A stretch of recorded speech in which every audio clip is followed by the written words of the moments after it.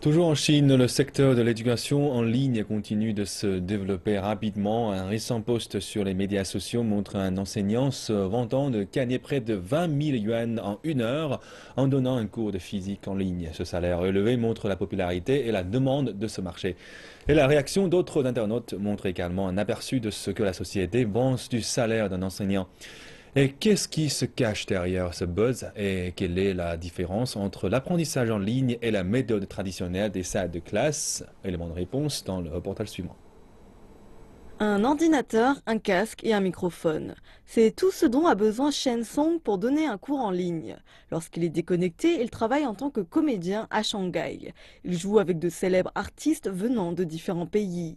C'est le sentiment qu'on a lorsqu'on assiste à un de ses cours. Surnommé Ship Window, Shen a rejoint la plateforme de cours en ligne il y a trois ans. Depuis, il est devenu l'un des enseignants les plus populaires de la plateforme. Je pense que c'est quelque chose de cool à faire, car cela me donne pas seulement l'occasion de partager mon expérience unique de comment utiliser la langue anglaise et la comprendre, cela me permet également de rencontrer des personnes intéressantes venant de différents domaines.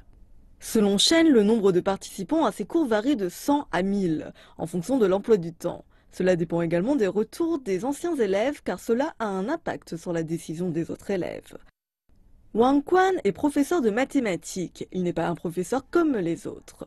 Il accepte les demandes à partir d'une application mobile et l'enseigne à présent à 12 élèves. J'enseignais dans une institution de formation hors ligne. Depuis que je suis passé à la position en ligne, j'ai plus de liberté et plus de temps. Et le plus important, la principale différence que j'ai constatée depuis que j'enseigne en ligne, c'est de devoir savoir me vendre pour attirer davantage d'élèves en enseignant d'une manière plus créative. J'aime les cours de M. Wang. Il explique les mathématiques d'une manière drôle, rendant le sujet plus intéressant à mes yeux.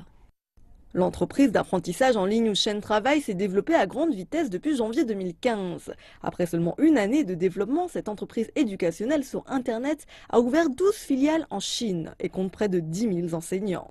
La principale différence avec notre entreprise basée sur Internet repose sur la technologie et les services personnalisés.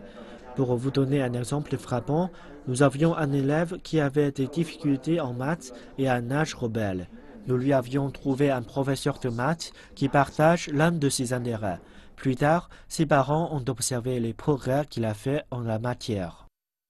Le marché de l'éducation en ligne en Chine est attendu à augmenter à près de 200 milliards de yuan en 2016, avec plus de 100 millions d'internautes. Mais contrairement aux entreprises en ligne, les experts disent que l'éducation a besoin davantage de patience et de temps.